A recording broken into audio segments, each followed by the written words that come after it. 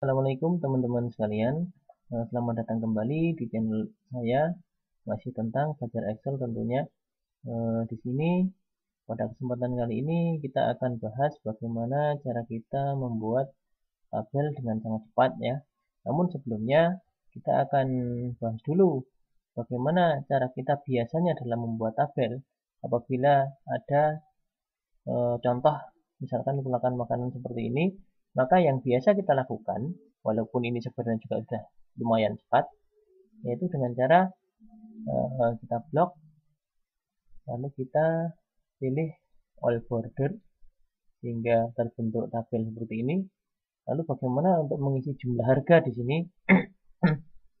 itu dengan cara mengalihkan yang kolom C dengan kolom D. Maka hasilnya 12.000, yaitu hasil perkalian antara 6000 dengan 2. Apabila kita seret ke bawah, maka hasilnya semuanya akan terkalikan masing-masing sehingga masing-masing harga sudah eh, sudah tercantum di situ. Kalau mau kita jumlah tinggal kita zoom ke bawah. Nah, ini adalah cara yang sudah lumayan cepat yang sering juga kita lakukan. Tapi kita harus all border, kita harus eh, menarik handle bordernya ini sehingga kita bisa menentukan harga dari masing-masing, total harga dari masing-masing jenis makanan ini.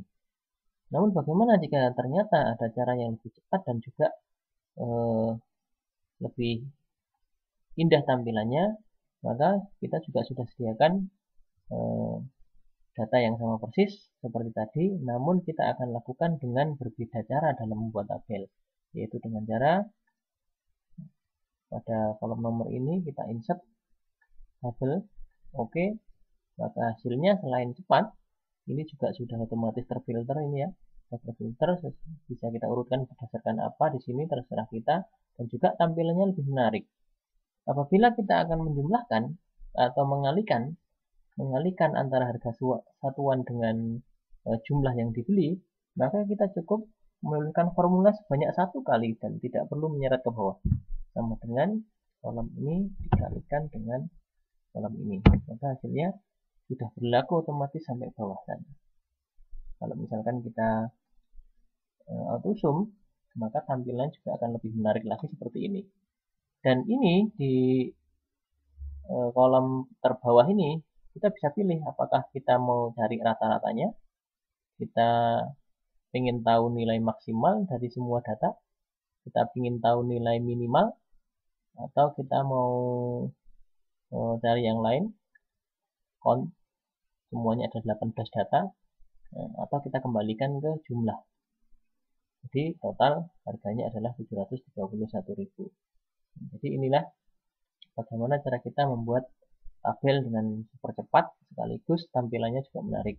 Apabila kita mau urutkan dari harga yang termurah e, sampai yang termahal, maka kita pada harga satuan ini tinggal kita klik mana ke bawah ini, lalu sort dari yang termurah ke yang termahal. Maka hasilnya akan seperti ini. Walaupun nomornya menjadi acak, tidak urut. Apabila kita balik ingin dari yang termahal ke yang termurah, maka seperti ini. Kalau mau kita kembalikan seperti tadi, maka di kolom nomor kita klik dari yang terkecil ke yang terbesar. Maka itulah eh, cara bagaimana kita membuat tabel perhitungan dengan super cepat. Nah, terima kasih telah menyaksikan video ini. Apabila ada kekurangan, mohon maaf. Dan apabila ada yang kurang jelas, bisa ditanyakan di kolom komentar maupun bisa diulang-ulang kembali video ini. Nah, terima kasih. Sampai bertemu kembali di video saya yang berikutnya. Wassalamualaikum dan sampai jumpa.